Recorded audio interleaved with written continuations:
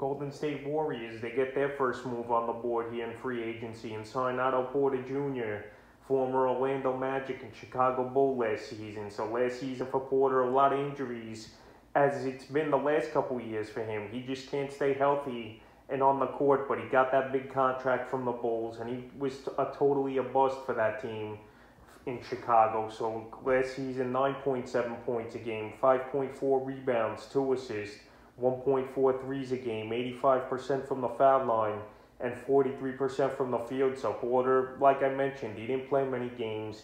He missed a lot of time, and towards the end of the season, he went to a team in the Orlando Magic that obviously were rebuilding and traded away all the good players. Like Nikola Vucevic was in that deal, obviously. They traded Evan Fournier as well.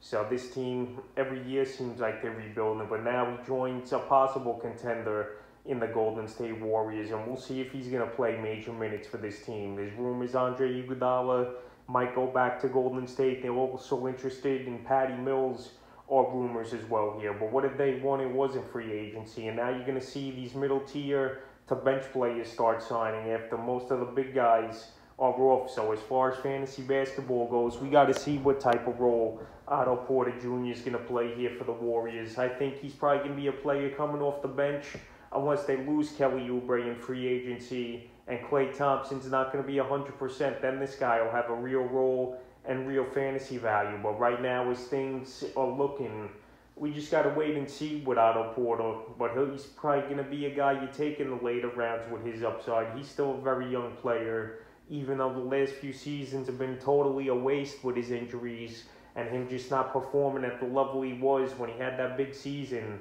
with the Wizards. So the Warriors here make a move for Otto Porter Jr. We'll see if he can get back on the right track in the upcoming 2021-22 NBA season.